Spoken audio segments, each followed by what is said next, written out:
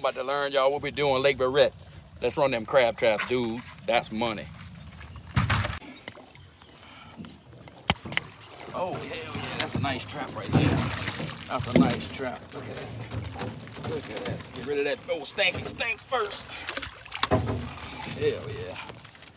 Look at those beautiful Lake Barrette crab, dude. Shake them out. Oh, that's nice.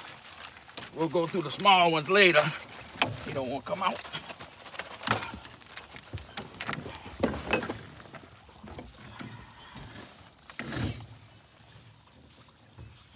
Go right here and get the old, old, old pogies. Ooh, I should have never called her, dude. We bait them with pogies, two per trap. Close it back up, make sure it's like that. Bait side down. Hopefully we get another dozen out of here in two days.